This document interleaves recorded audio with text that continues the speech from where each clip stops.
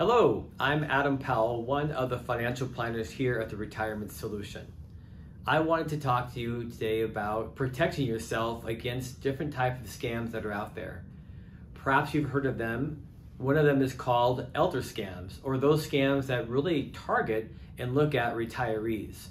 So I wanted to share with you a few tools that would help you to avoid such a pitfall in your retirement strategy. Number one is to have education. Education is the first line of defense in how to avoid a scam. Be aware and up to date on the types of scams that are out there and how people are going to try to reach out to you to get a hold of your hard earned money. Second would be to have a trusted contact. It's important that any financial institution that you are with that you have a listed trusted contact. This is someone that the institution can reach out to if they are questioning your, your request for funds, just to make sure that everything is on the up and up. And third would be to monitor your accounts. By being aware of what your figures are in your account, you can make sure that there are no charges that are being uh, transacted without your knowledge.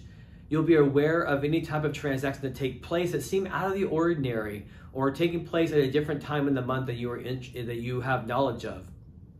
So please be sure to monitor your accounts. If you have a list of accounts, that's wonderful. If you don't, now is the time to make one.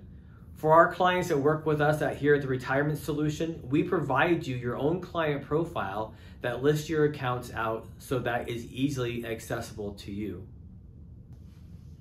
Fourth is to be skeptical.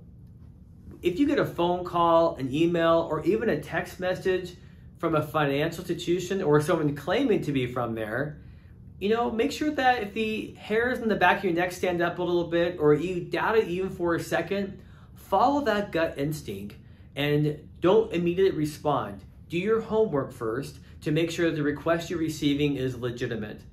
Remember that no financial institution is ever going to reach out to you asking you for your social security number or what your account number is. Things like that should be a direct red flag. I hope these four basic and quick items are a help to you to be skeptical and to be aware and to be cautious with all of your retirement funds.